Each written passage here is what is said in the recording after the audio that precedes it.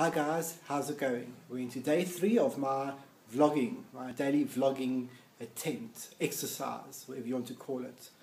Today I thought I'd like to talk a little bit about social media, or the way I perceive social, social media, or even more appropriately, the way I use social media.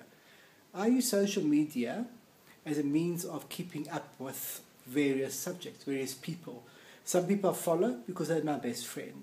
Some people follow because I enjoy reading what they write. And some people I follow because they give me the best links to other things that I enjoy reading.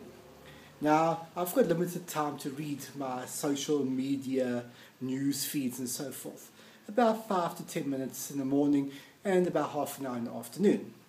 So now when people uh, post too much, excessively, for example, somebody who constantly uh, tweets 20, 30 tweets a day, it becomes too much for me to keep up with them. And so I have to usually say goodbye.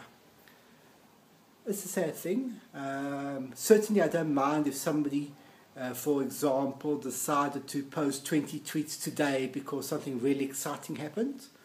It happens. I've done it myself. Uh, but if you post every day 20, 30, 40 tweets, 10 uh, Facebook articles, and so forth and so on, I can't keep up with you.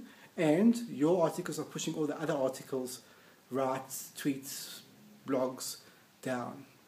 So if I've ever deleted you in the past or removed you from a friends list or reading list, 90% of the time it was because I couldn't get through your stories.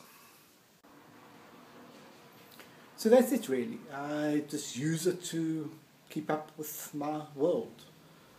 And it's a big world, it's a beautiful world, and as long as everyone works together, to me, the way I work, use it, I'm happy.